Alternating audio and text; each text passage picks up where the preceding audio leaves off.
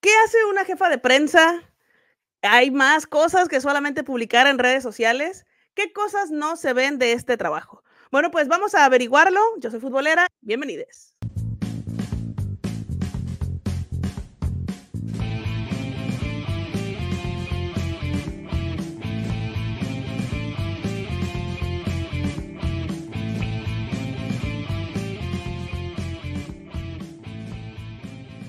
Matita futbolera, para este episodio tenemos nada más y nada menos, digo, ya lo vieron en la descripción y en el título del episodio, a una persona que no solamente está encargada de que la magia suceda en todo lo que tiene que ver con la comunicación de la liga, sino que nos va a contar qué hay detrás.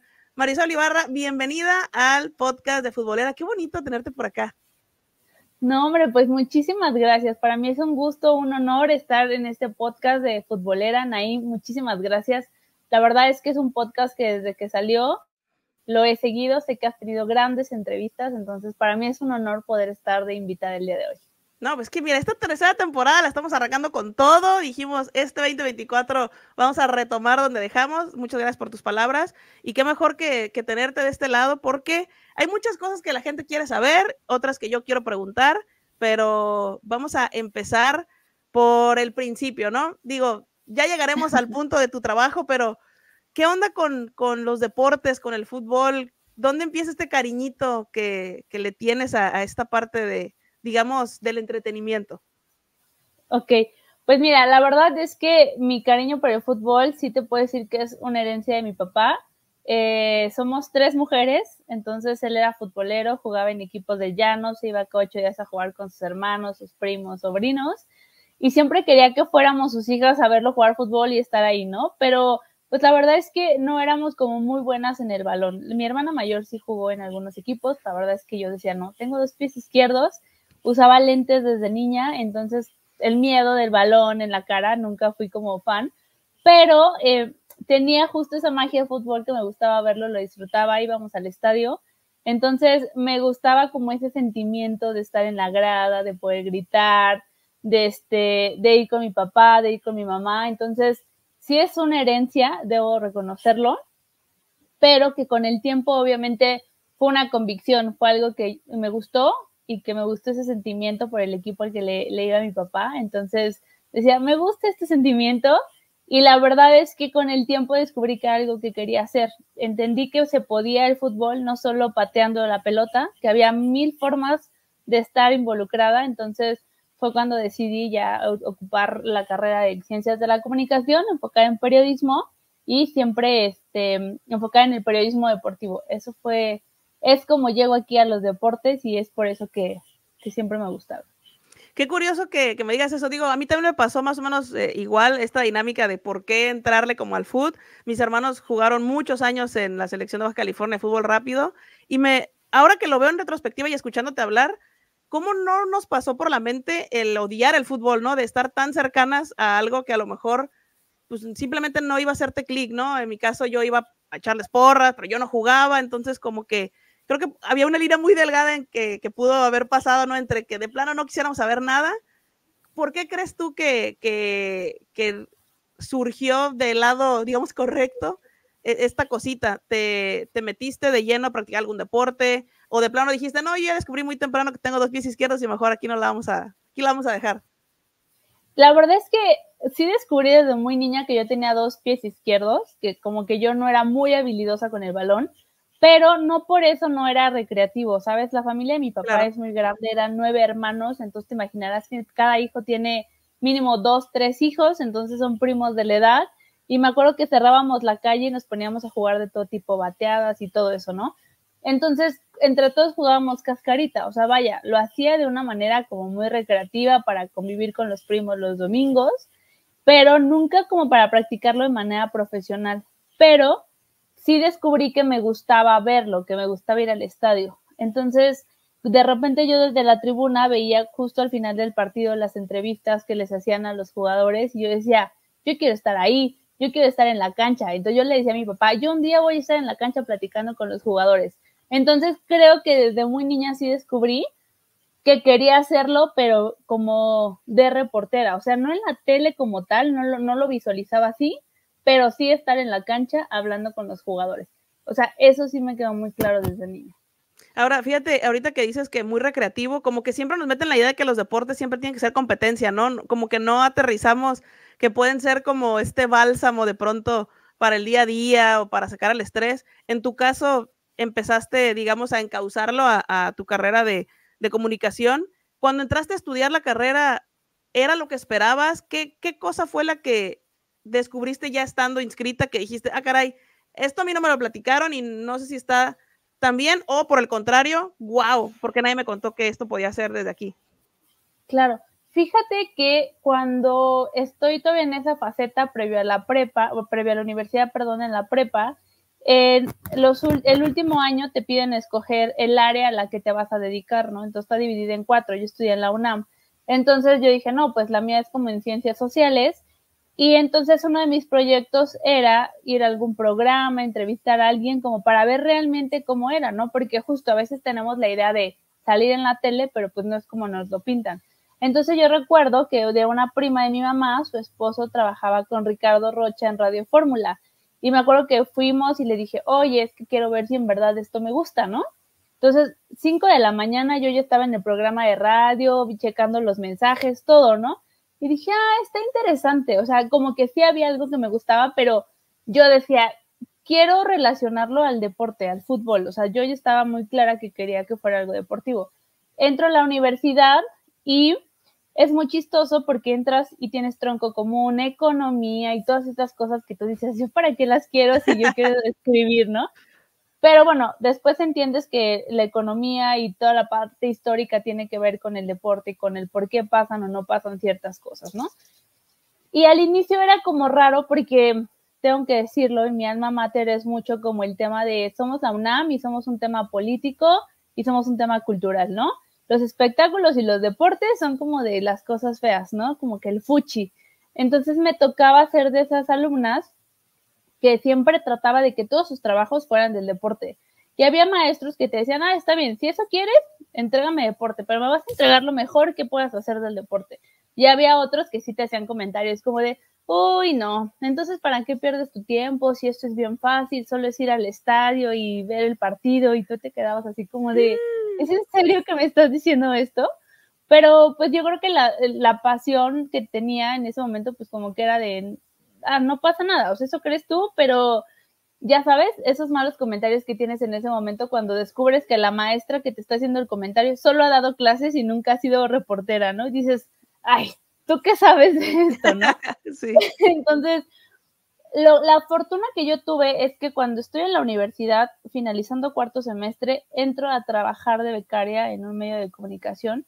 Entonces ahí me doy cuenta cómo son las cosas. Entonces, a mí en lo personal siento que me ayudó mucho porque yo ya veía la práctica con lo que veía en la universidad. Entonces ya lo de la universidad se me hacía más fácil, porque yo ya entregaba las cosas de acuerdo a lo que yo veía que se hacía en la redacción, ¿sabes? O sea, sí creo que a mí me ayudó entrar a trabajar estando básicamente a la mitad de la carrera, porque me abrió los ojos de cómo es realmente, ¿no? Porque sí tengo que decirlo, hay mucha gente que acaba la carrera y cuando sale, pues te encuentras con un mundo en el que te quieren con experiencia, en el que lo que te enseñaban en el salón no es exactamente lo que vas y haces en el famoso chacaleo, en estar tres horas en el aeropuerto esperando a que llegue el jugador, en ir a un partido de fútbol y pues estar sentada los 90 minutos y qué sí puedes y qué no puedes hacer, ¿no? Entonces sí creo que entrar a trabajar desde joven me ayudó mucho a entender cómo era la vida del periodismo.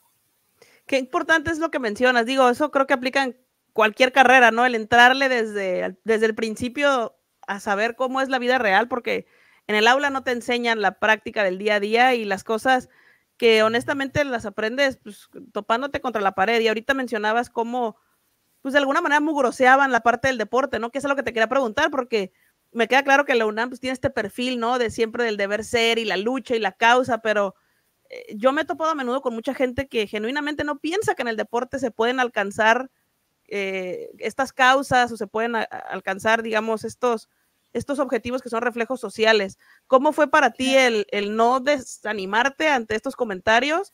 Y, qué pasa con esa gente al día de hoy que, que, te ven tú haciendo las cosas que te gustan y que de pronto, pues, digamos que sus comentarios les quedaron pequeños ante lo que terminaste haciendo, ¿no? Sí, Pues mira, la verdad es que creo que de inicio es tener como mucha convicción de lo que tú quieres, ¿no? O sea, yo sí creo que tuve mucho ese respaldo por parte de mi mamá de decir, tú haz lo que tú quieres hacer. O sea, si el día de mañana dices esto no me gusta, estás en la oportunidad de cambiar y decir, bueno, descubrí que no me gustaba, ¿no? Entonces, era de repente difícil porque sí había maestros que te la ponían todavía más complicada, ¿no? O sea, tú entregabas este, tus, tus entrevistas y no sé, lo hacías a lo mejor con algún comentarista, algún jugador de fútbol y de repente era, pero este güey, ¿qué me va a aportar, no? Y tú así de, bueno, es que él hace esto y esto y esto. Entonces, tenías todavía que justificar por qué elegías hacerlo en el deporte. O sea, sí era de repente un poco complicado y era muy chistoso porque los grupos eran de 40 personas, 50 máximo, ¿no? Empezábamos de 70 y terminábamos 40, 30 en los grupos en la carrera. Y éramos cinco personas las que queríamos deportes, cuatro eran hombres y yo era mujer, o sea, solo había una mujer. Entonces todavía era como más el, no, pero pues ve tu compañero, ¿por qué él no va o por qué él no hace esto, no? Y era de, no me interesa si él lo hace o no, yo voy a hacer lo que yo quiero hacer y como yo lo quiero hacer. Entonces, un profesor que, eh, que en paz descanse, que se llamaba Rigoberto, él cubrió todas las fuentes, desde sociales, política, cultura, deporte, todo, todo, todo. Y él siempre fue así como de, no te importe nada, tú, todos tus trabajos, hazlos de fútbol, de deportes, de lo que tú, a lo que tú quieres. porque eso te va a guiar a lo que realmente tú necesitas hacer. Dice, porque si empiezas a entregar de todo un poco, mañana no vas a saber en qué te quieres especializar. Y la realidad es que hoy en día sí te tienes que especializar en algo, ¿no? O sea, al final el periodismo es periodismo y puedes saber hacerlo para cualquier área.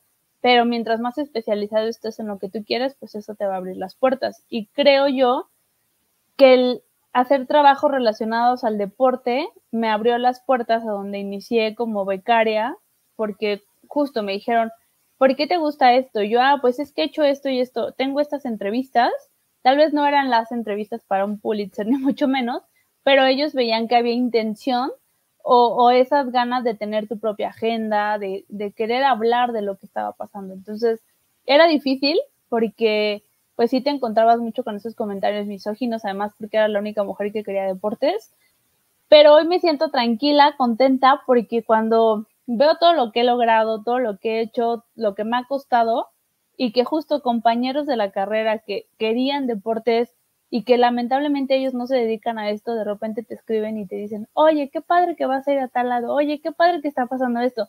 Entonces, para mí, sí es como una satisfacción de decir, no me dejé vencer y sé que hoy estoy haciendo esto, ¿no?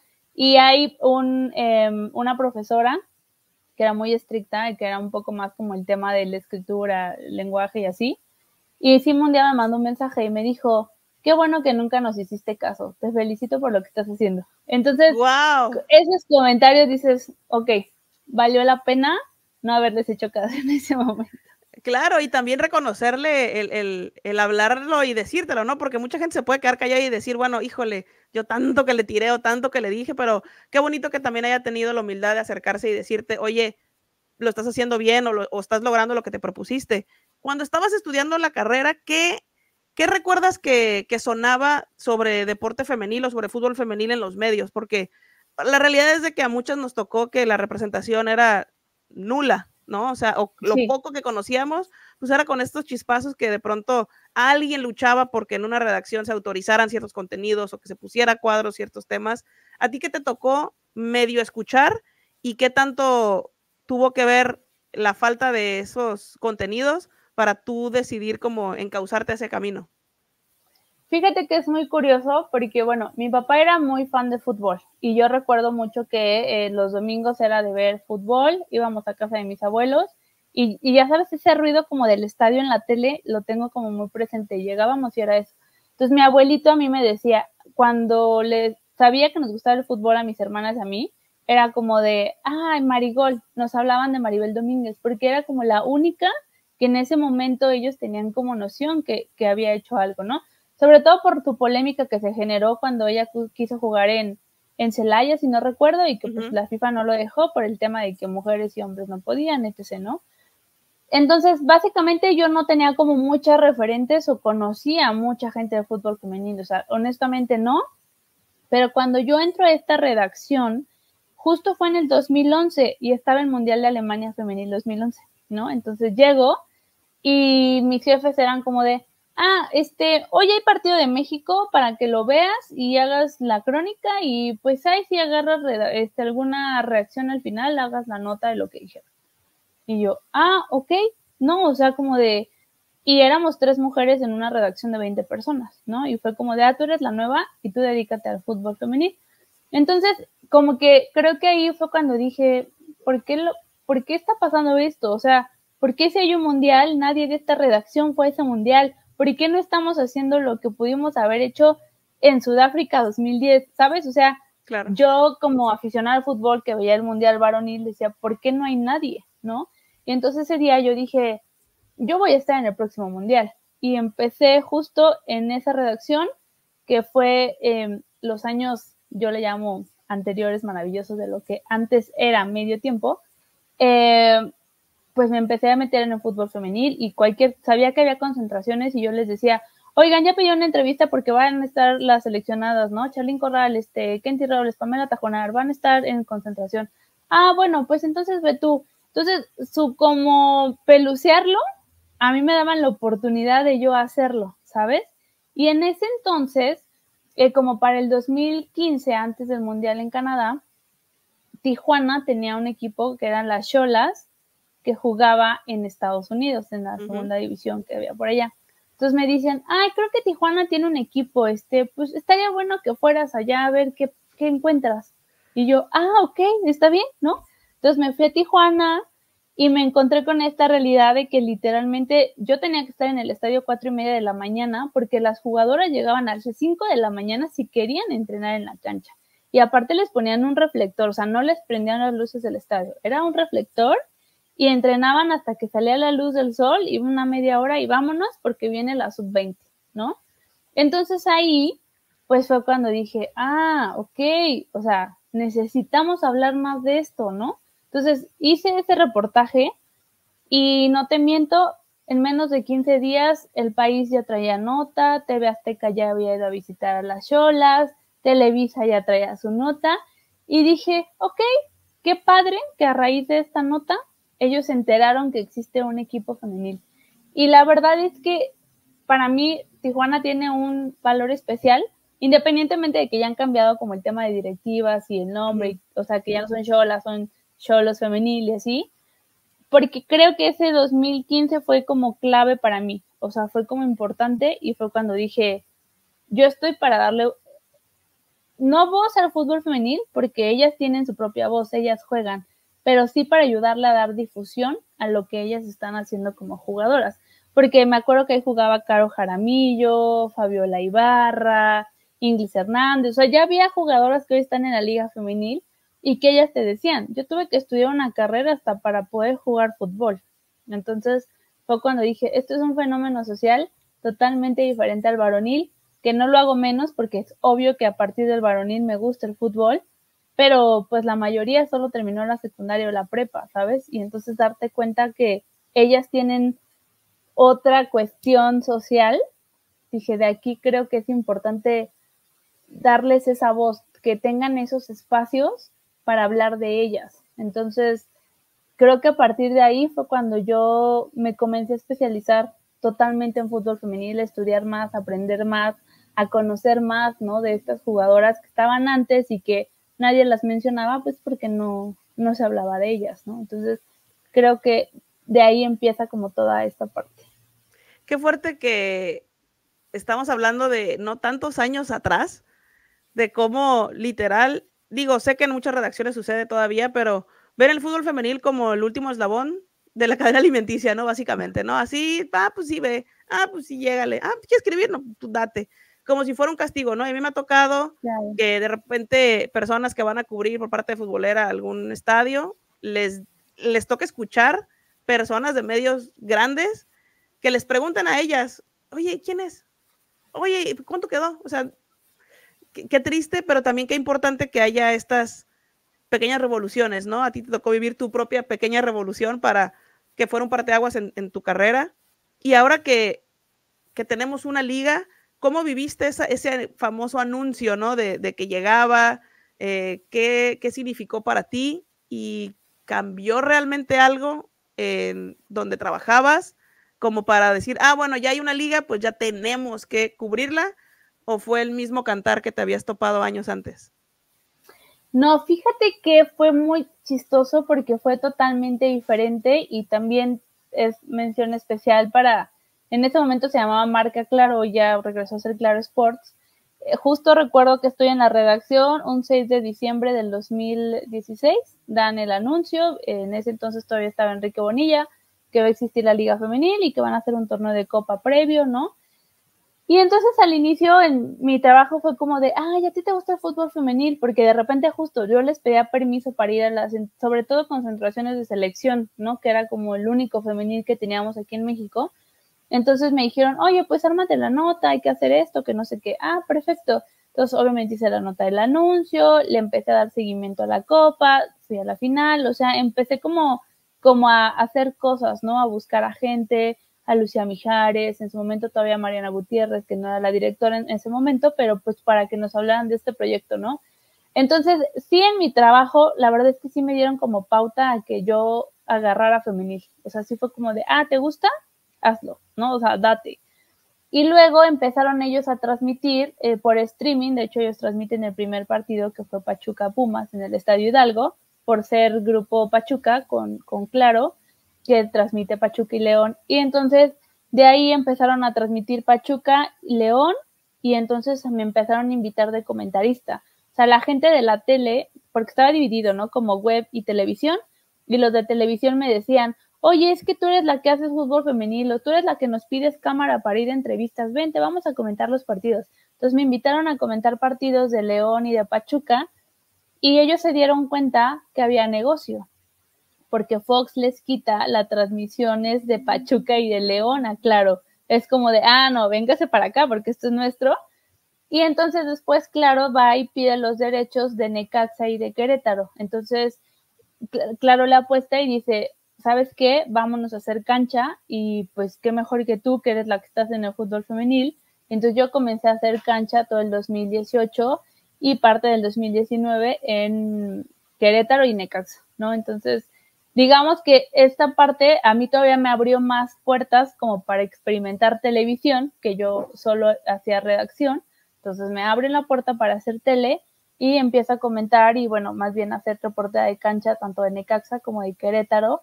Entonces sí creo que fue todavía muchísimo más importante porque a mí en lo personal pues me dio un foco que para el 2019 cuando ya anuncian oficialmente que existe una directora de la liga, me invitan a colaborar en el comité editorial que existía hasta hace poco, ¿no? Porque bueno, todo se ha ido transformando y en ese momento crearon un comité y me invitaron a formar parte de ese comité. Entonces, para mí era como un logro profesional decir, claro, lo que yo hago está siendo visto, ¿no? Porque cuando empecé a hacer mi primer cancha, recuerdo que fue un Querétaro Chivas, eh, Mariana Gutiérrez me mandó un mensaje como de, oye, qué padre verte haciendo esto, felicidades, ¿no? Porque yo con ella, desde que estaba en las ligas del sector amateur, iba y hacía entrevistas. Entonces, pues claro, también para ella fue como darse cuenta que había gente que sí le daba difusión al fútbol femenino, ¿no? Entonces, eh, pasa toda esta parte, hago todo eso en claro, después eh, salgo de ahí y eh, se viene pues todo el tema de pandemia. y entonces lo que hice fue y, y, por eso yo te aplaudo tu podcast, porque yo tuve un intento de podcast que duró casi la pandemia y bueno, ya después cada quien. Sí, me acuerdo, sí me acuerdo. De... sí, me lo echaba, ¿cómo de no? nuestro ángulo. Entonces, mi idea era seguirle dándole difusión y creo que eso me ayudó bastante cuando de repente, pues, la liga tocó mi puerta y me dijo, oye, está este espacio y queremos que trabajes con nosotros. Entonces, sí creo que de, es como chistoso de eso que nadie quiso en el 2011 cuando inició a meterme en los medios, fue como de, ah, no lo quieres, bueno, yo lo voy a arropar y el ir arropando esas cosas que nadie quería, pues mm, es bonito sentir que hoy me tienen donde estoy disfrutando de las cosas que estoy haciendo, ¿sabes? Pero como al final justo es eso, ¿no? El, el no darte por vencida, el seguir en el camino que tú querías, haciendo los contenidos que tú querías presentarle, ahora sí que a la gente. Y creo que también de eso se trata, ¿no? De, de sumar desde la trinchera que nos toque y en algún momento coincidir con gente. Uno nunca sabe, yo siempre digo, uno nunca sabe quién te ve o quién te escucha.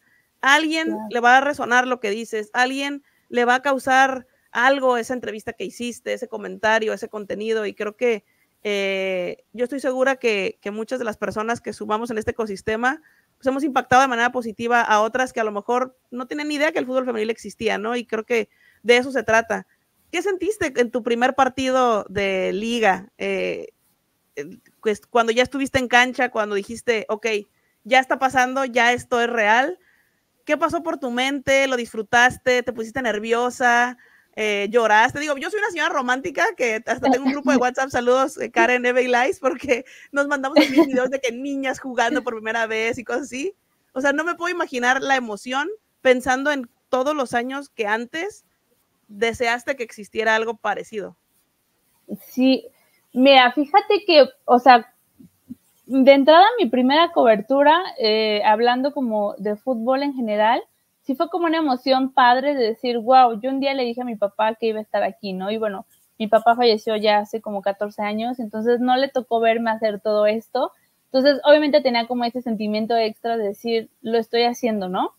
Entonces fue como muy padre, muy emocionante, pero sí no te puedo negar que cuando hice la primera cancha femenil, te digo, en este Querétaro Chivas, sí fue una emoción. Obviamente tenía nervios porque era la primera vez que lo hacía como en vivo. Yo sé si me equivoco, pero pues yo llevaba así como todos mis apuntes, iba súper estudiar a las jugadoras. Dije, no, no, no, aquí vamos a ir a hablar de las jugadoras, no de, de otra cosa, ¿no? Entonces, sí, creo que me preparé, pero los nervios son inevitables y de hecho, pues bien dicen, ¿no? Que ya que dejes de sentir nervios por hacer o hablar de esto, entonces retírate porque ya no lo estás disfrutando y fue algo como, fue como emotivo, no lloré, pero te lo juro que yo tenía así la sonrisa, o sea, parecía así, ya sabes, como un maniquí que estaba todo el tiempo así, y tengo así toda la foto, pues obviamente fue como de necesito una foto en este momento, y las veo y sí la sonrisa es así como de, como de mucha emoción, y, y, creo que fue cuando también entendí la responsabilidad de un micrófono, ¿no? O sea, doblemente, si de por sí ya tienes una responsabilidad cuando escribes, dije, pues más cuando tienes el micrófono y obviamente pues luego te da coraje cuando escuchas cosas en el micrófono, pero, pero entiendes esa responsabilidad, ¿no? De decir, claro, yo estoy aquí para hablar de las jugadoras, de lo que está pasando en la cancha, de lo que necesitan ellas para que mejore la cancha, ¿no? Porque también yo te hablo que la hice en el 2018, principio del 2019. O sea, no existían extranjeras, todavía estaban los grupos por regiones en la liga y darme cuenta que he evolucionado esa parte, digo, wow, o sea, está muy padre y, y sí es un, es un momento que, que atesoro bastante y, y no, no, no puedo describirlo, solo sé que estaba muy emocionada, que estaba nerviosa y que a la vez era un como de decirle a Marisol, ya ves, sí se puede, o sea, si tú trabajas, lo vas a lograr, porque tampoco te van a llegar las cosas mágicamente, ¿no? Y si hay a quien le llegue mágicamente, pues qué padre, pero se trabaja y estás ahí, entonces son como, pues, no sé, es como esa sensación de recompensa a muchas cosas que están detrás de una redacción donde la mayoría son hombres, donde te encuentras a la misoginia, donde a veces hasta minimizan tu trabajo, donde hasta porque vayas y hagas ciertas coberturas em, o porque te salgas de tu zona de confort o porque sacrifiques tus días de descanso, trabajes más, la gente no lo ve, ¿sabes? Como que nada más dicen, uy, pues ya la mandaron, pues sí, pero no descansé toda la semana, este, ya pedí 20 entrevistas, tengo todo esto. Entonces, más bien es como una sensación de recompensa a todo eso que está detrás, que nadie ve y que muchas veces sacrificas hasta el festejar tu cumpleaños. Cuando te buscan para que eh, entras a la liga, ¿qué fue lo primero que pasó por tu mente? ¿Cómo te eh, ubicaste en ese primer día de decir, ah, caray, ¿y ahora qué hago? O sea, ahora, ahora estoy de este lado, estoy estoy del lado oscuro o no, me toca hacer lo que yo antes a lo mejor critiqué o, cuestioné, más bien cuestioné, porque creo que es eso, ¿no? A veces desde la ignorancia exigimos y pedimos cosas, pero también porque no hay tanta transparencia en ciertos temas que te hacen pensar cosas que quizá no son. ¿Cómo fue para ti este shock entre quiero sumar, pero también ya estoy de este lado y tengo que tener mucho más cuidado de las cosas que hablo, que digo y cómo las ejecuto? Fue todo un reto. O sea, la verdad es que cuando me dicen, oye, es que te van a buscar de la liga, fue como de, a mí, ¿no? Así como de que no te la crees, ¿no? Porque pues de repente también tenemos esta parte, ¿no? De que no te crees capaz de, de ocupar ciertos puestos porque sientes que faltan muchas cosas, ¿no? Y recuerdo que me entrevistó con Mariana Gutiérrez, platicamos, ¿no? O sea, digo, nos conocíamos de trabajo, de que ya lo había entrevistado, de que habíamos hablado de fútbol, pero pues hasta ahí, ¿no? O sea, nada como una formalidad más allá de, de, recibir órdenes o de cuestionarla o de decirle, ¿por qué está pasando esto, sabes? Entonces recuerdo que platicamos y me dijo, ¿tú cómo ves la liga? ¿Cómo ves lo que se comunica? Entonces yo, no, pues siento que pasa esto, ¿qué te gustaría a ti hacer? No, pues yo creo que yo haría esto y esto y esto. Y entonces ahí venían pláticas como de, oye, ¿y por qué pasa esto? O oye, ¿por qué se permite esto? ¿No? Entonces ella te decía, no, bueno, a ver, y te explicaba, ¿no? Como directora, qué era lo que pasaba, y entonces aprendías a entender que sí, que había cosas que la afición no sabía, pero que tampoco puedes estar todo el tiempo explicándole a la afición, mira, fíjate que está pasando esto. Entonces fue todo un reto porque, pues justo, ahora estás del otro lado, del lado institucional, ¿no? Entonces ya no vas y buscas la nota, ya, ya no tienes a las jugadoras porque aventaste una solicitud, de tres meses diciéndole al jefe de prensa, por favor, ponme a la jugadora. Ahora ya, ya era como de le escribías al jefe de prensa, oye, queremos ir este fin de semana y todo lo que quieras, te lo ponemos, ¿sabes? Entonces te encontrabas con otro panorama totalmente distinto a lo que es ser reportera. Entonces fue todo un reto porque si siendo reportera trabajas 24/7, yo te puedo decir que trabajar en la liga era tener un día de 50 horas por 7 días, por 365 días del año, ¿no? Entonces, sí fue un reto porque tienes que aprender a saber comunicar distinto, porque justo como reportera puedes incluso denunciar cosas, quejarte de cosas, contar historias, o sea, tienes muchas vertientes. Como liga, solo tienes una línea, hablar de lo que pasa positivamente en la liga femenina, ¿no? O sea, y eh, ser reactivo a los casos em, lamentablemente negativos que puedan pasar y que hemos visto que pasan, ¿no? Cómo sales, cómo comunicas.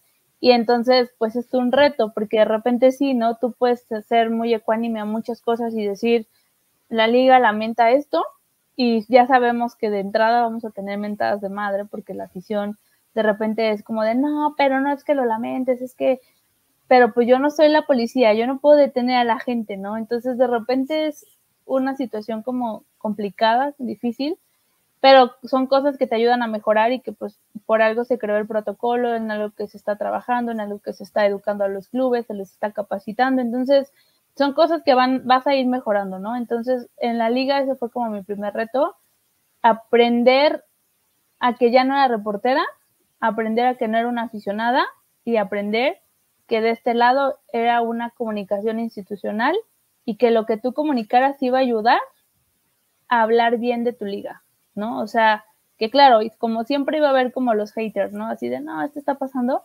pero que lo que tú ensalzaras de tu liga, pues te iba a ayudar a que el día de mañana eh, jugadoras quisieran voltear a ver esta liga porque pues éramos la número uno en redes sociales, ¿no? Entonces a nivel mundial, por encima de otro tipo de, de países, decías, wow, algo estás haciendo bien, ¿no? Este, ese era como el mayor reto, como entenderlo como de una manera institucional.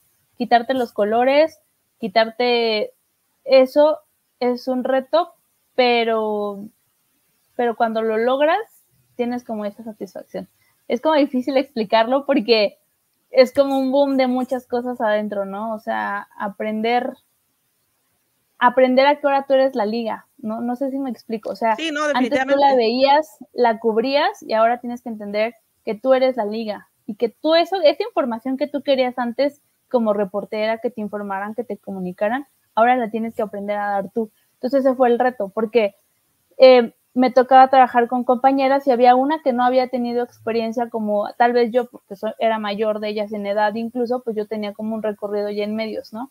Entonces era como de, ok, vamos a ocupar tu juventud con esta experiencia, ¿qué te gustaría ver en la liga? ¿Tú qué sigues de la liga? Entonces era como combinar toda esta parte para, para poderle dar la afición contenido. Digo, a veces no los tenías contentos porque cada quien quiere ver a sus equipos, ¿no?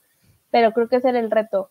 como quitarte un poco la afición al fútbol por el lado institucional. Ahora, mencionabas ahorita de cómo es difícil, ¿no? El, jugar con esta parte de que, bueno, ya no, ya me quito mi gafetito de prensa reportera y tengo que ser la liga, tengo que ser la voz de la liga. ¿Cómo funciona en estos manejos de crisis de los que hablabas de tener que comunicar, pero sin tampoco hablar mucho porque puede ser que o afecten un proceso o que desconozcan la postura de a lo mejor la persona involucrada? ¿Cómo funciona esa parte y cómo le hacen para poder pues digamos que cumplir con las expectativas de todo el mundo, ¿no? Porque al final, eh, si hablan, porque hablan, si no hablan, porque no han hablado, ¿no? Digo, pues yo he estado ahí, ¿no? Yo he sido de las que dice, oye, aquí qué onda, ¿por qué no nos han dicho nada? ¿Por qué no explican? O sea, esta parte de, de, quizá querer una liga más transparente, ¿cómo lo manejan de manera interna? ¿Cómo buscan el punto medio para no necesariamente darle gusto a todos, pero para que ustedes dentro de la estructura puedan mantener la línea que quieren manejar, pero también tener la comunicación lo mejor controlada posible en este tipo de casos?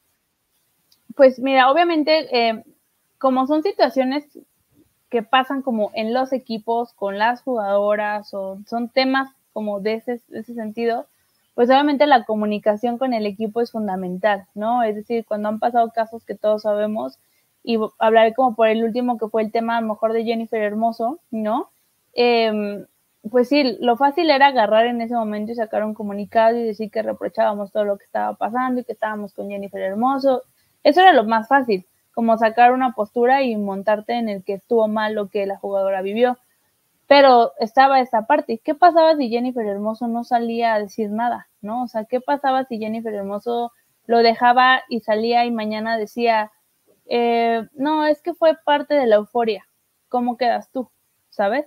Entonces, los lineamientos son esos. Tú te tienes que esperar a que en este caso eh, la jugadora o el club te digan qué va a proceder. Si el club dice yo voy a salir con un comunicado porque ya la jugadora aceptó salir con esto y esto y esto, tu papel como liga es salir a respaldar. O sea, tú no te puedes adelantar antes de la, en este caso, la víctima o el club a dar una información sin, sin que antes ellos sean los, los que hablen. Porque en este caso, pues la jugadora afectada era Jennifer Hermoso. Entonces ella era la que tenía la primera palabra. Después ya venía el Club Pachuca a dar su respaldo y venía la liga a arropar esa, esa postura, ¿no? Entonces, sí, hubo gente que decía, no, es que ya se tardaron en salir porque pues ya habían pasado horas, ¿no? Ya había pasado rato desde que había pasado eso, pero también había comentarios de gente que lo entendió y que dijo, qué bueno que la liga respetó hasta que saliera la jugadora, ¿no? Porque, insisto,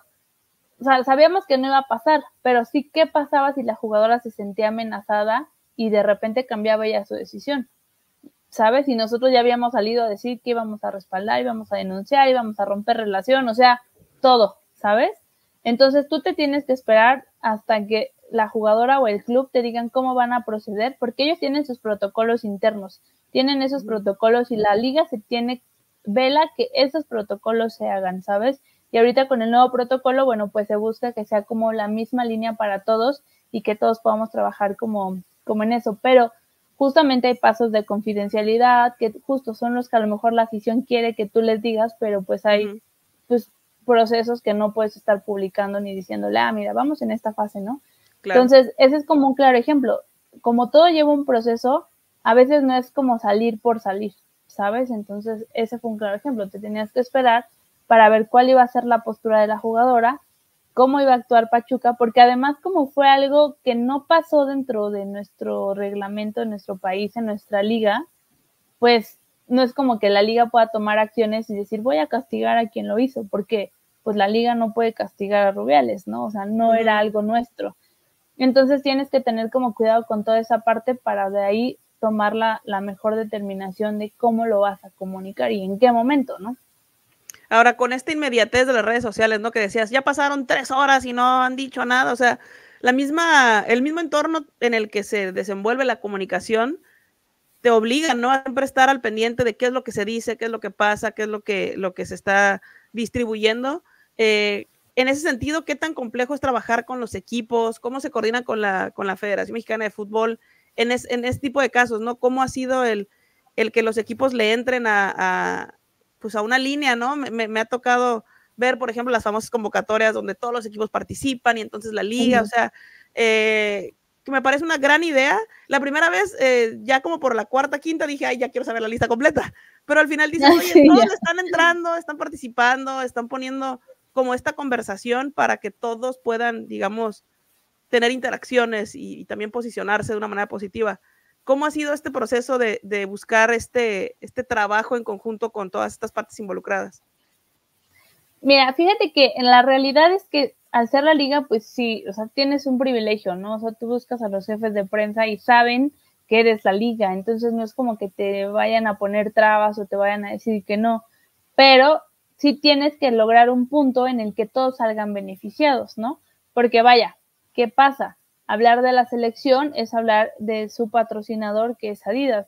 ¿Qué pasa cuando la liga femenil tiene su balón que es Nike, ¿no? ¿Y qué pasa cuando a las jugadoras las viste Charlie? Entonces, tienes que encontrar ese punto en el que todos salgan beneficiados, porque, obvio, Pachuca va a cuidar sus intereses con sus playeras de Charlie, Selección va a cuidar su patrocinador, que es Adidas, y la liga, por supuesto, que va a cuidar sus balones, ¿no? O sea, entonces, de entrada es tener un punto medio en el que ninguna parte se vea afectada, pero que todos nos veamos beneficiados, ¿no?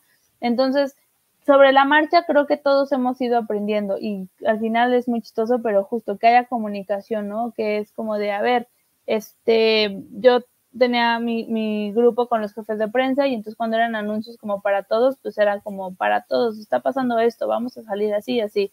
Cuando es como con un club en específico, porque la situación era de, no sé, hablar de un clásico que queríamos traer una campaña, bueno, lo habla solo con los equipos competentes, ¿no? Entonces, es comunicación, y también todo esto se ha dado porque la federación ha sufrido como una transformación. Antes se hace cuenta que era la federación y la mano derecha era la liga, la mano izquierda era la selección.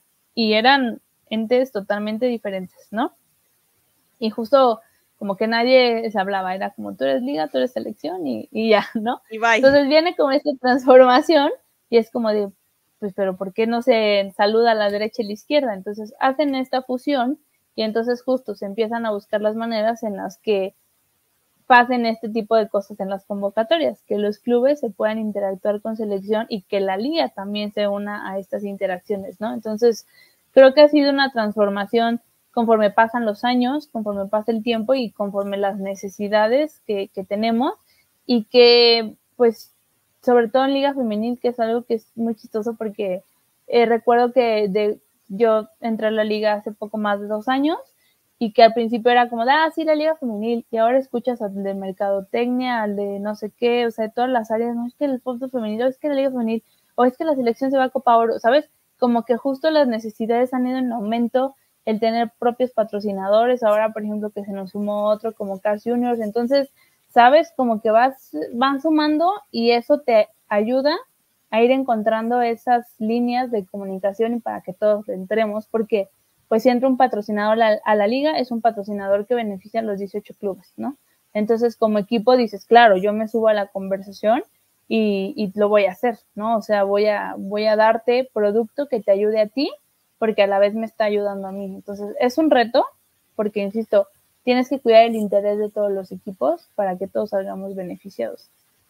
Ahora, la manera de comunicar de la liga ha cambiado conforme ha pasado el tiempo, ¿no? Desde los gráficos, los artes, la manera en la cómo redacta, ¿no? Los famosos copy. ¿Cómo ha sido esa transición, estas pruebas y errores? ¿Qué cosas eh, te han sorprendido que funcionaron muy bien y qué otras dices, híjole, esto, pues la verdad la gente no quiere nada de este tipo de información? O sea, ¿cómo le hicieron o cómo le hiciste para para junto con todo el equipo encontrar estos, e, e, estos puntos en los que en los que decían, ah, mira, la afición sí quiere consumir estas cosas.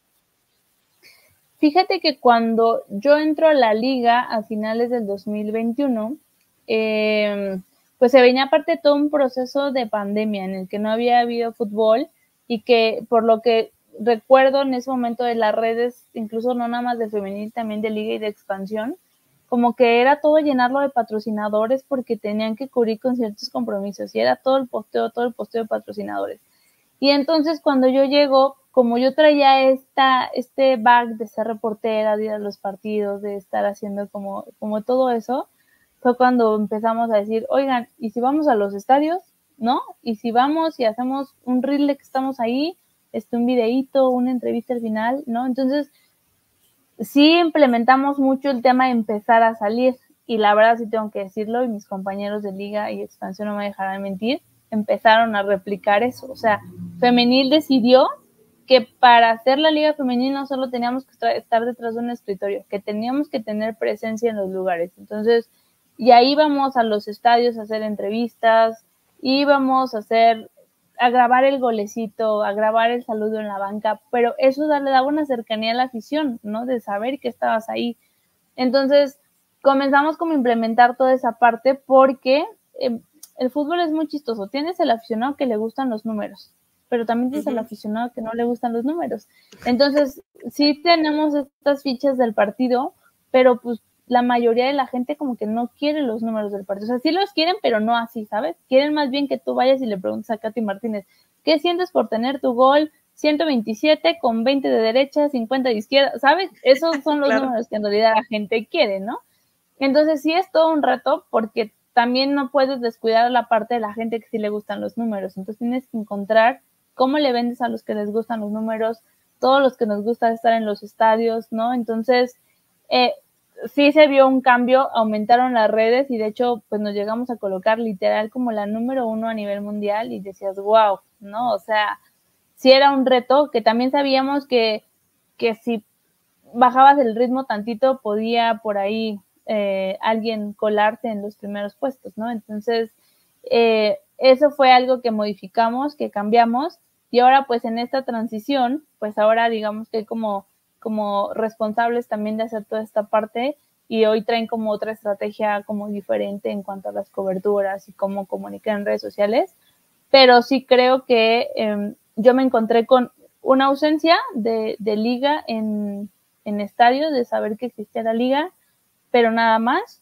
Y lo que hicimos eh, en esos dos años fue tener presencia y demostrar que la liga sí estaba presente, que la liga sí tenía partidos, que la liga tenía voz y que la liga era la principal en contar las historias. Entonces ahí nos veías viajando por todos lados, conociendo los estadios. Digo, a mí me faltaron dos, pero, pero viajábamos a hacer todo lo que podíamos para que la gente tuviera esa cercanía con su afición, ¿no? Y sí creo que tuvo un gran impacto, ¿no? Digo, una vez escuché que decían que un reportero con los zapatos limpios no es un buen reportero, ¿no? Porque no anda en la calle, no anda metiéndose a ver cómo consigue la nota, la foto, la entrevista.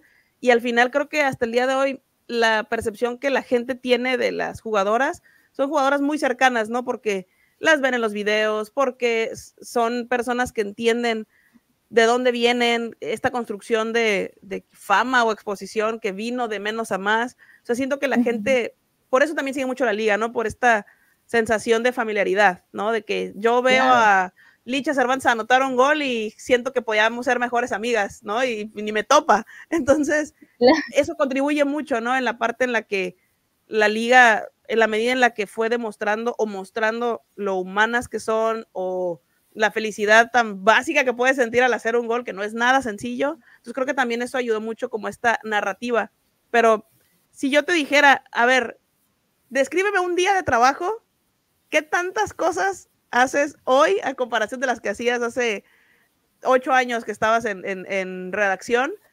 Porque me decías que tus días pueden sentirse de 50 horas, entonces, ¿qué tan complejo es el trabajo de una, de una jefa de prensa? Para que la gente dimensione y no crea que nada más es subir post a TikTok. Porque luego a veces eso pensamos. ¿Cómo estudiar de trabajo? Sí, claro. Mira, voy a hacer un paréntesis rápido, porque eh, a partir de este 2024, en esta fusión que te conté, ahora me dejaron como responsable de selecciones femeniles, entonces ahora hago como ese, ese cargo de jefa de prensa de selección femenil. Pero quiero contarte cómo era en liga, ¿no? Em, llegabas a la redacción 8 de la mañana, o sea, la federación, si no llegabas en coche, te ponía un transporte, entonces llegabas a 7 y media, 8 de la mañana, y desde ahí empezabas, eh, por ejemplo, mi semana empezaba el martes, porque los lunes había fútbol, entonces todavía cerrabas ese día, ¿no? Entonces era llegar un martes temprano, 8 de la mañana, y ya empezar a ver qué partidos tenías la siguiente jornada, que podía empezar jueves o viernes, ¿no? Entonces era armar como el plan de, em, cuántos partidos se empalmaban, porque de repente teníamos dos a las cinco, dos a las siete, ya sabes, estos horarios de televisoras. Entonces era como llegar y hacer la agenda y éramos tres personas, pero dos que nos encargábamos como del tema de, el, le llamamos centro de operaciones, el hacer el minuto a minuto, lo que veían en la página, la nota, la galería, todo eso, y la community manager que se encargaba del tema de redes sociales, que no lo hacía sola porque muchas veces eh, mi compañera Grecia y yo éramos quienes hacíamos como posteos, las entrevistas, todo para que pues, nos ayudara a programar básicamente. Entonces, llegas, haces como planeas qué viene la siguiente jornada, qué partidos podíamos hacer cobertura afuera, ¿no? Ah, ¿sabes qué? Creo que podemos ir y entonces tenemos el contexto de que, no sé, se venía un Chivas Mazatlán y a lo mejor la gente decía, ay, pero Mazatlán, ¿qué no? Porque no es lo mismo ver un América Chivas que un Chivas Mazatlán, ¿no? Entonces tú dices, sí, pero si Alicia Cervantes le marca gol a Mazatlán, va a llegar a su gol 100 y qué mejor que la liga esté en el momento en el que Alicia Cervantes va a marcar su gol 100. Entonces teníamos las estadísticas y decíamos, ok, Alicia va a llegar a su gol 100. Una vamos a hacer cobertura porque hay probabilidad de que ella meta gol y entonces hay que estar en el momento. Entonces ya era pedirle a la coordinadora, Mariana Tamayo, las estadísticas de, oye, todos los goles de, de Alicia, ¿cómo han sido, no? Ah, pues mira, le ha metido 5 la América, 20 a Rayadas, etc., ¿no? este, tiene cinco de derecha, cinco de cabeza, dos de penal, y que nos tuviera que pasar toda esa información para entonces bajarla y hacer una infografía, ¿no? Ah, bueno, pues vamos a hacer la infografía de cómo lo hecho la jugadora, por si mete el gol, estar preparadas y salir como con todo eso, ¿no? Entonces, eso era de un partido y de repente te encontrabas que era el clásico eh, regio, ¿no? No, pues también hay que hacer cobertura, pero ¿qué va a pasar? Rayadas va a ser media day, entonces hay que ir al media day pedir entrevistas o sabes qué, Tigres no va a ser media day, pero ya le escribimos al jefe de prensa de Tigres y nos va a poner a tal jugadora, ¿no? Entonces tienes que ir días antes para hacer las entrevistas. Entonces, en esos días se te va de una a dos horas en lo que estás como pimponeando de a este partido hay que ir por esto, bueno, a este no vamos a ir, pero vamos a, estar atentas al Twitter para esto y esto y esto, ¿no?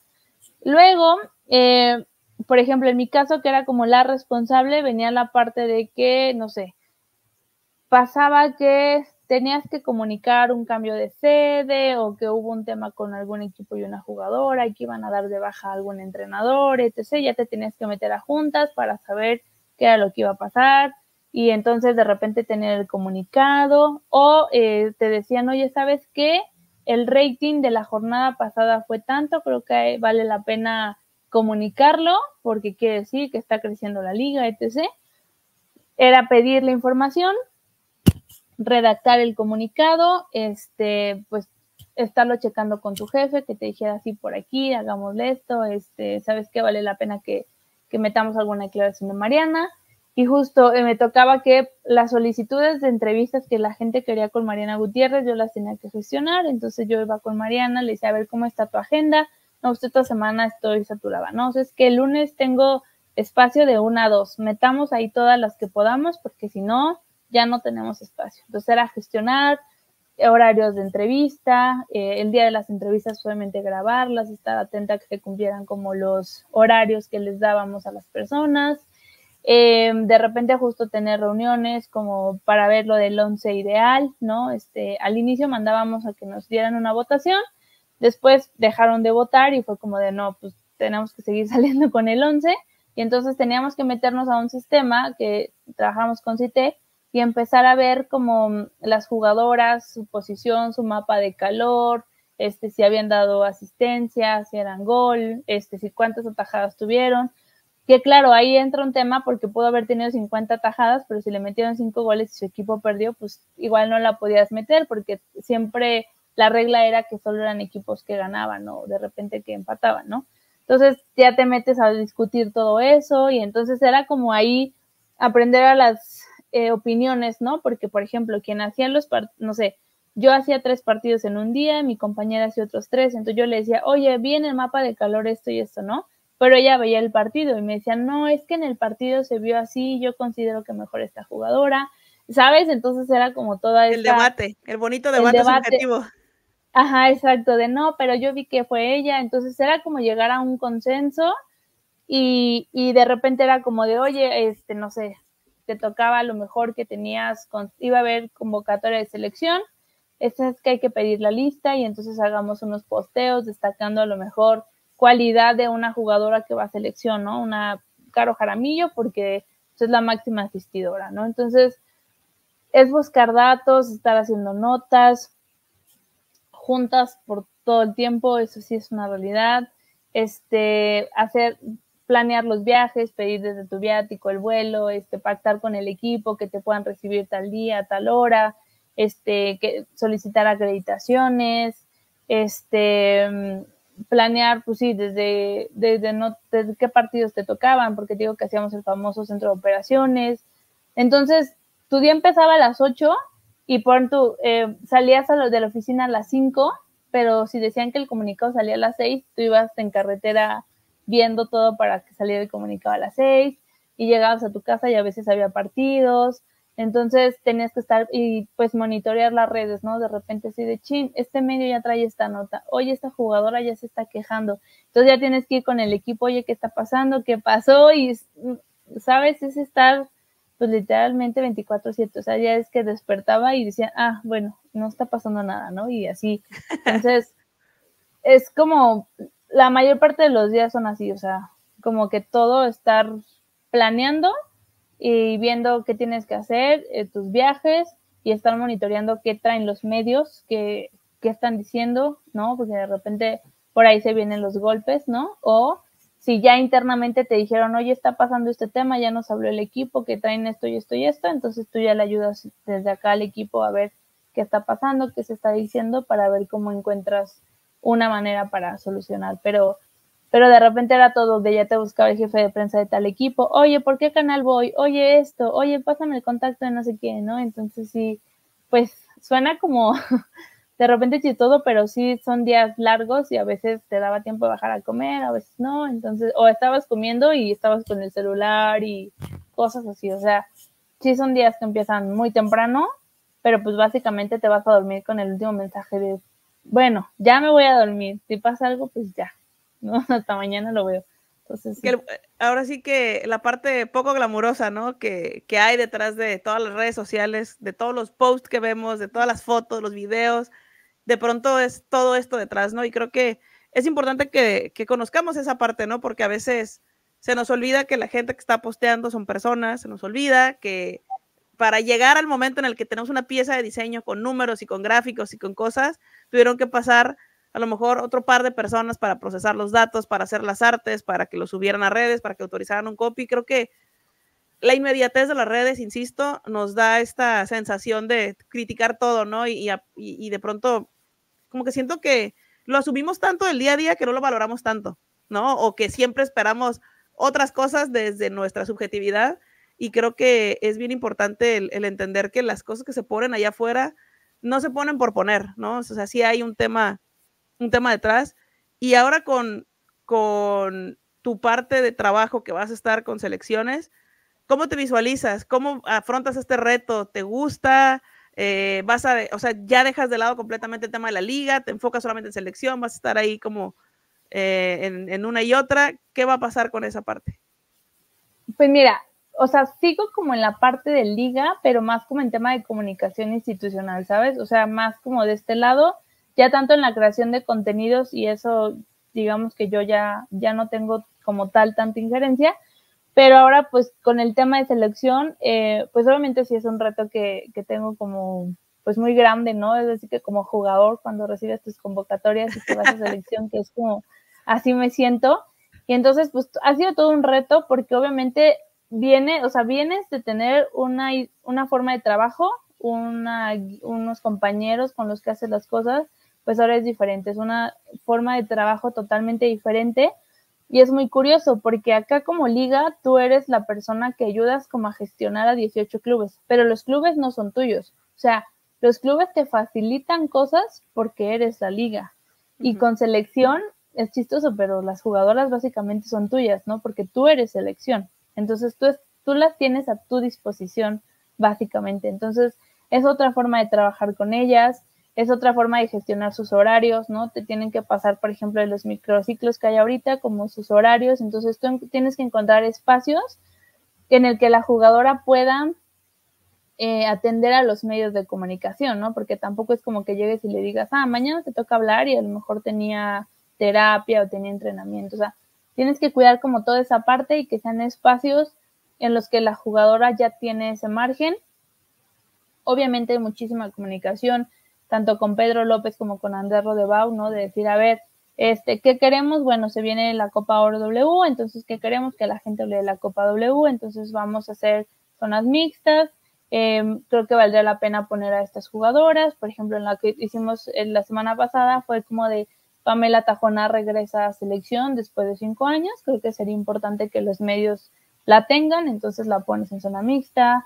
Entonces tienes que como que visualizar ahora qué se habla y qué, jugadoras quieres que hablen de eso que tú, que tú tienes en mente, ¿no? O sea, este, obviamente si alguna jugadora tuvo un tema polémico, pues no la vas a exponer a los medios de comunicación porque tú la tienes que, cuidar, ¿no? Entonces, tienes que cuidar como toda esta parte y, ahora es como, como otro tipo de comunicación porque en este caso tienes que estar en contacto con, con Cacao, de qué van a querer para el torneo, qué puedes, qué no puedes hacer y todas tus labores que tienes que llevar al entrenador y a las jugadoras a conferencia, este que tienes obviamente que generar tú un contenido, por ejemplo, ahorita para el premundial hicimos una guía de medios, pues para que la gente conozca quiénes son las jugadoras que están participando, en qué equipos juegan, qué posición tienen, ¿no? Porque de repente pues no, no son jugadoras tan mediáticas todavía, no las conocen.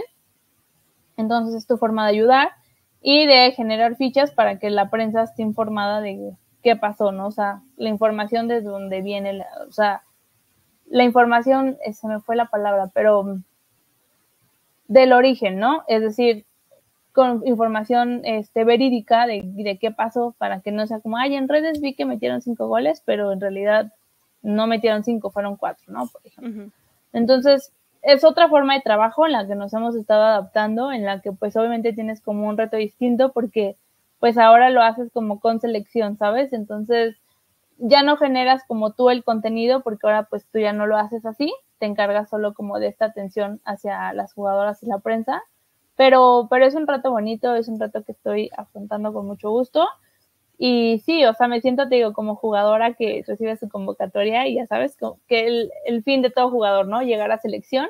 Entonces, en mi caso es como de, de, toda reportera llegar a selección un día y entonces, bueno, hoy estamos aquí y son días largos. Ahorita con el premundial pues no hemos parado, hoy nos tocó descanso, pero pues mañana con que es puente, pues hay que ir a Toluca para el partido y este, y pues ya, ojalá que, que, que, cierren como líderes porque queremos cruzarnos en la final con Estados Unidos. Entonces, que les vaya bien porque están jugando muy, muy bien Estados Unidos. Veo al equipo físicamente muy, muy fuerte, entonces sí que, o sea, bueno, más bien yo quiero, ¿no? Esta parte de que sí puedan cerrar como líderes para que entonces el cruce sea como seguramente va a ser Canadá y luego pues así pasan a la final, pues ya, que sea con Estados Unidos, pero ya con el boleto asegurado. Esperemos que sí. La gente que nos está escuchando nos va a escuchar en el futuro. Vamos a ver si Marisol tuvo razón y se cumplieron las predicciones para cuando escuchen el episodio. Y ahora, con todo esto que, hemos platicado, con todo el proceso que fue llegar, digo, me queda claro que, que, que, se debe de sentir igual, ¿no? La convocatoria a selección, pero ahora en la parte de prensa, porque justo, ¿no? Todo tu trabajo te lleva a este lugar con todo lo que has vivido, lo que te ha tocado ver, ¿cómo definirías eh, este viaje que has tenido? Digo, esto no es el final. Eh, estoy segura que vas a tener muchos más logros y vas a cumplir más metas, pero al día de hoy, ¿cómo ves en retrospectiva el, proceso que has vivido para, estar donde estás el día de hoy y qué es lo que más valoras de todas estas cosas que, que fuiste como desbloqueando en el camino? Uy, híjole, es que si yo te contara todo lo que ha pasado en estos 12 años, eh, lo veo en retrospectiva y, y solo me reconozco ser fiel a lo que quise desde el inicio, a ser fiel a lo que yo quería, a lo que a lo que yo lo que soñé, suena como a cliché, como de ay, lo que soñaste, pero en serio, es lo miro así y digo, valoro haberme sido fiel pese a todas las adversidades, porque claro que hubo más de una ocasión que llegó un punto en el que querías tirar la toalla, en el que incluso te cuestionabas si en verdad estabas haciendo las cosas bien, si en verdad escogiste la carrera que habías escogido, y no por ti, no porque tú no hicieras las cosas o no porque tú no quisieras hacer las cosas, sino porque lamentablemente en este camino me he encontrado con gente buena y mala, ¿no? Entonces, hay gente que te ha puesto el pie, hay gente que, que cuando todo el tiempo quieren estar en el escritorio y tú sales, pues ya no les gusta que tú tengas la recompensa, pero dices, pues si yo le estoy trabajando, yo estoy picando para encontrar el diamante, porque lo, te lo vas a quedar tú si soy yo la que lo está trabajando, ¿no?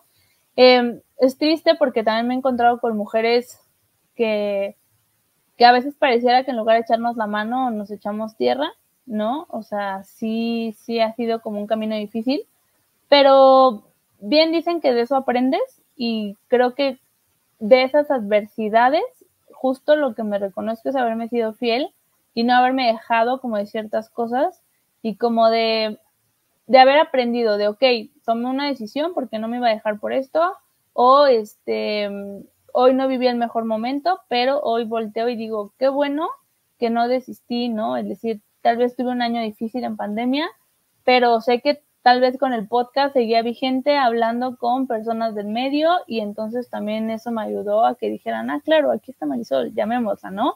Entonces, eh, eso, creo que el haberme sido fiel, porque de verdad te puedo decir que ha habido muchísimas piedras en el camino, muchísimas días que incluso lloras de frustración, pero días como hoy volteas y te sientes contenta de decir, wow, estoy ahora este, en esta preparación con la selección, ojalá se le dé el boleto mundial a la sub-17, eh, se viene una Copa Oro con muchos retos para México de un año invicto, pero pues se nos viene Estados Unidos en el grupo, entonces sé que va a ser algo complicado, que no es como que se vaya confiado. Entonces, está padre, ahora lo veo y digo, qué bueno que ahora mis preocupaciones son estas, ¿no? Es decir, quiero que el equipo gane y ya no preocuparme por, por cosas que años atrás te generaban conflicto, ¿no? Y, darme cuenta que, que, como todo, son adversidades que todos pasamos y que está en cada uno cómo las tomas, ¿no? Aprender de ellas y no tirarte al piso y decir, ah,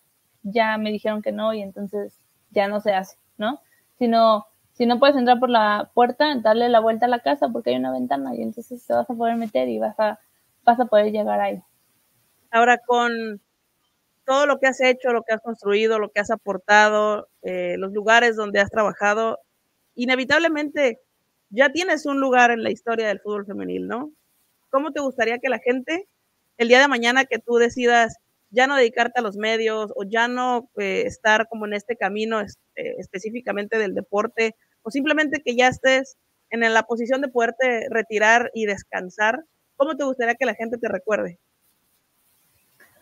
Uy, pues mira, yo creo que, que como todos pienso, pues sí me gustaría que fuera como de o sea, tal vez piensas en que digan, ay, era una buena persona, era buena onda, era esto, ¿no? Pero entiendo que no eres monedita de oro y que tal vez no a todo el mundo le va a salir bien. Pero más bien sí me gustaría que dijeran como, incluso esa parte de, aunque no me caía bien, era una chava que era comprometida, que era, que llegaba a puntual a hacer sus cosas, que a veces no descansaba y que, que siempre dio como toda su pasión lo más que pudo por por darle un valor al fútbol femenil y porque fue un ejemplo de que aunque pasó por comentarios misóginos, que inició sin que existiera una liga, eh, estuvo ahí para ayudar a construir una liga. O sea, más bien me gustaría que fuera como, no como, híjole, es que es muy difícil. A veces uno dice, me gustaría ser ejemplo de alguien. No, más bien me gustaría que la gente viera que sí se puede, o sea, si tú te lo propones, sí se puede, ¿no? Más que decir, quiero hacer lo que hacía Marisol, es como de, ah, claro, pues ella me está diciendo que pasó por muchas adversidades y si yo ahorita estoy pasando por una, pues que no es el fin del mundo, ¿sabes? Que voy a poder darle la vuelta a esto. Entonces, a mí me gustaría como una persona que siempre dio todo por el fútbol femenil, que era muy apasionada y que todo lo que hice siempre fue en pro del crecimiento y de manera profesional. Siempre pensando en un interés del fútbol, más que el personal, siempre fue para el fútbol femenino.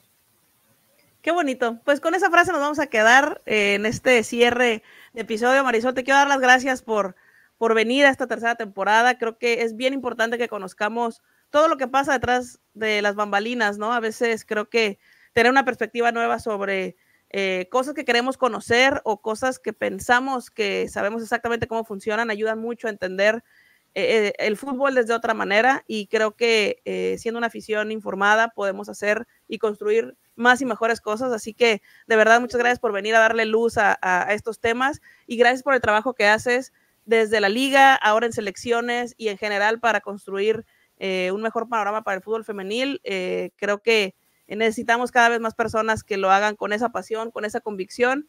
Y de nuevo, muchas gracias por estar por acá. No, al contrario, muchísimas gracias a ti, Naimi. También no porque esté invitada, sí quiero felicitarte porque justo hablábamos del tema de los podcasts y pues tu podcast ahí sigue, ya estás en tu tercera temporada, eres una, eres una página medio confiable, cuenta, eres algo real que también estás sumando, también se te aplaude porque cuentas como la tuya ayudaron mucho a la liga femenil también a generar muchas cosas, esa es una realidad, o sea, todos ustedes también suman para que la liga se dé cuenta que hay cosas por qué trabajar y por qué, por qué hacer em, ciertos contenidos.